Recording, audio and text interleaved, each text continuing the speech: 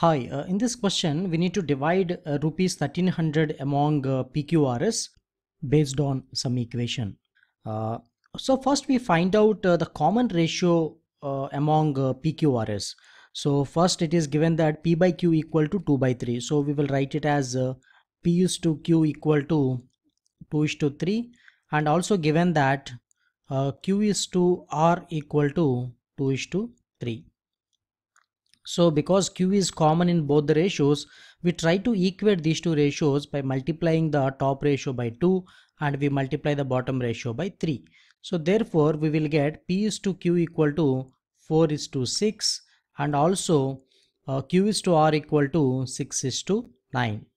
Therefore from this we'll get P is to Q is to R equal to 4 is to 6 is to 9. So from this we try to find the common ratio between uh, PQRS by including R is to S term here. So it is given that R is to S equal to 2 is to 3.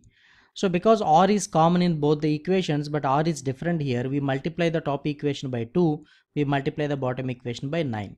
Therefore what we will get here is so P is to Q is to R is to S equal to 2 into 4 8 2 into 6 12 2 into 9 18 and 9 into 2 is again 18 so 9 into 3 27 therefore we got a common ratio among pqrs so that we can easily divide uh, 1300 among these three people. It is given the total amount to be distributed as 1300 and uh, we have to find out the p share.